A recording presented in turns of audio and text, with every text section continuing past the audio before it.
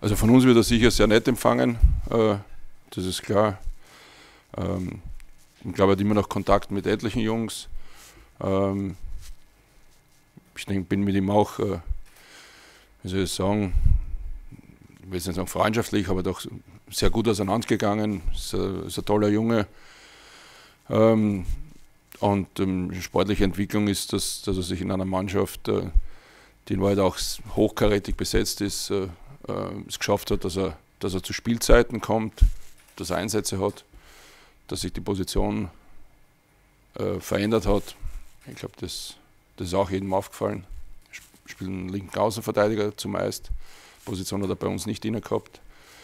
Hat allerdings auch äh, in der U21-Nationalmannschaft gespielt. Also das, das hat sich für ihn äh, halt verändert.